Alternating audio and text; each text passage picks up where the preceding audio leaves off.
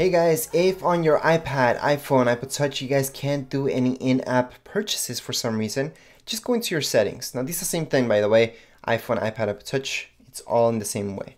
So right down here below, you're gonna see screen time. With older generations, iPhone, iPad, iPod Touches, it would be general and then restrictions.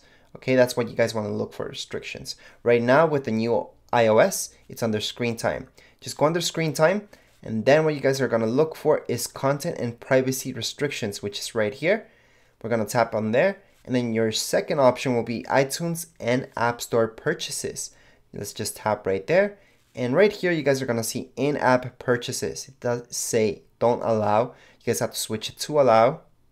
Once you guys do that, you're all done. You guys can purchase anything within apps. Anyways, that's it for this video tutorial. If you guys have any questions, comments, you guys can write them down in the comments area. And don't forget to subscribe and rate. Thank you!